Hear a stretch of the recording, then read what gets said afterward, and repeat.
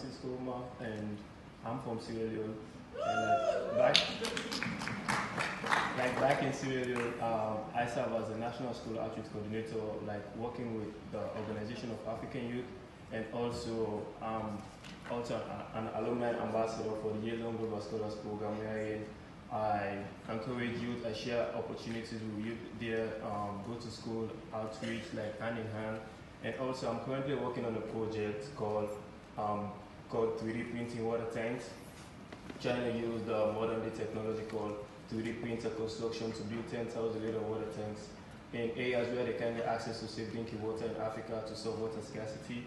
So that's one of my biggest projects right now. Um, just you know, like in Africa, there's a lot of places, and starting with the case study where I'm from, Sierra Leone, there's a lot of people can get access to safe and reliable water, and more especially where you can store them. That's the major thing. So like that's my project, and that's my purpose of coming here in New York, and um, really excited to be part of this podium because like um, giving the youth the more platform to be part of this, um, making decision but also encouraging the youth in such a way like um, supporting the youth in their project that you know, I believe the youth can, um, the, the youth are the next generation of global leaders. And the best way to create the future is to start, creating it and taking action. And, and all of us here have tangible ideas and but how can we get access to like funding to support or support to push this project um, forward?